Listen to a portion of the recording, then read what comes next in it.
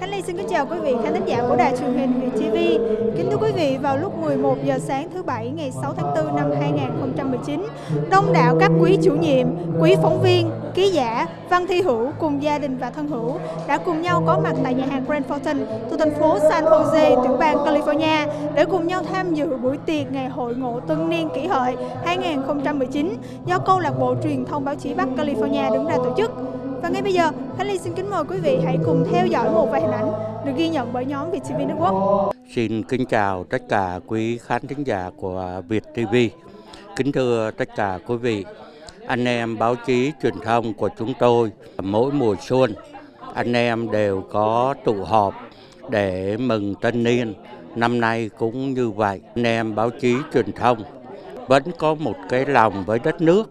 Năm vừa qua chúng tôi đã có những hoạt động đó là cộng tác với BTF để tổ chức hội trợ Tết Phát Rao, tranh đấu cho đêm ca nhạc mà Cộng sản Việt Nam dùng vũ lực để đàn áp với nghệ sĩ tín và cùng với đồng bào tranh đấu cho vườn rau Lộc Hưng.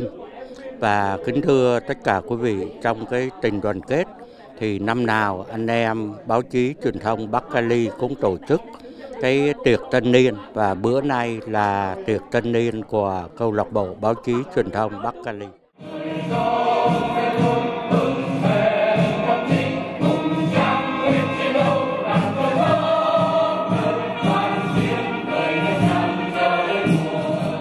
đặc biệt trong giây phút này,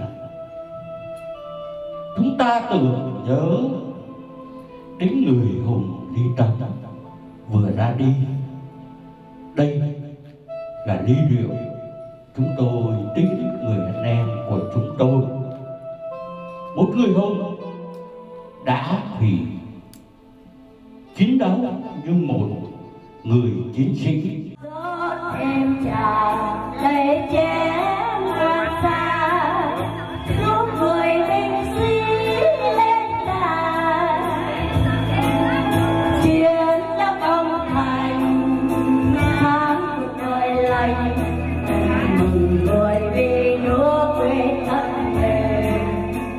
Hôm nay là ngày 6 tháng 4 năm 2019. Anh chị em truyền thông báo chí Bắc Cali có một buổi họp mặt mừng xuân mới kỷ hợi à, tại nhà hàng Grand Fortune ở thành phố San Jose. Mỗi năm thì anh chị em làm trong ngành truyền thông đều có một buổi họp mặt vào ngày Tân Niên. Nhưng năm nay tổ chức hơi trễ vì à, năm nay cộng đồng người Việt Bắc Cali có nhiều tổ chức, nhiều hội đoàn đã tổ chức mừng xuân tân niên, tất niên. Do đó anh chị em phải đi làm về việc anh chị em không có thì giờ rảnh thì hôm nay là ngày anh chị em đã đồng ý. Chúng ta không có một cái sinh hoạt nào khác thì chúng ta gặp nhau để chúng ta cùng vui và trao đổi những kinh nghiệm trong nghề nghiệp.